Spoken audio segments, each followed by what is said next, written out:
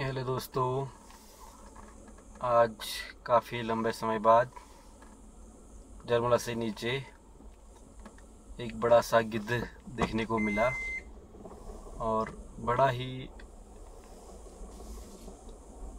आनंददायक दृश्य था ये, जो एक विलुप्त प्रजाति को देखने का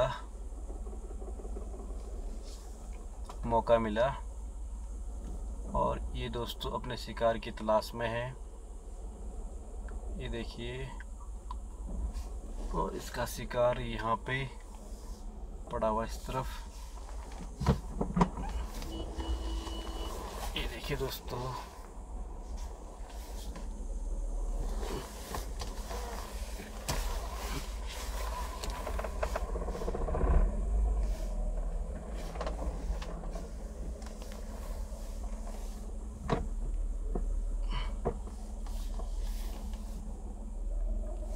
दोस्तों, ये थोड़ा डरता हुआ और ये ये पर्यावरण के मित्र हैं दोस्तों, ये इधर कुछ गंदगी पड़ी हुई थी, जिसको ये बड़े ही प्यार से खा रहा था, बड़े ही चाव से।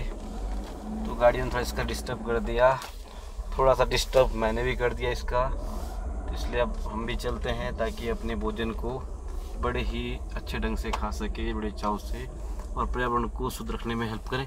इसका एक साथी सामने पेड़ पे बैठा है, दोस्तों, देखिए।